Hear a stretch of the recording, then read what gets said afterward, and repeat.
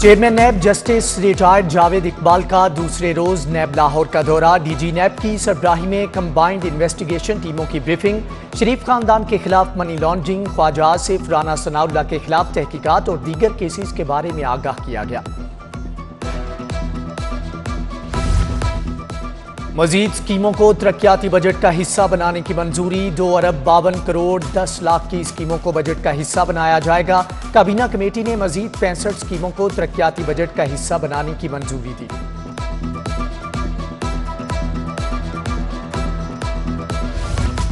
और पंजाब में 25 फ़ीसद special allowance किसको मिलेगा, किसको नहीं? महकमे खजाना ने वजाहत कर दी। सेक्रेटरीट मुलाजमीन एंटी करप्शन एवान वज़ीर अला पुलिस अदलिया डॉक्टर नर्सिस को स्पेशल अलाउंस नहीं मिलेगा।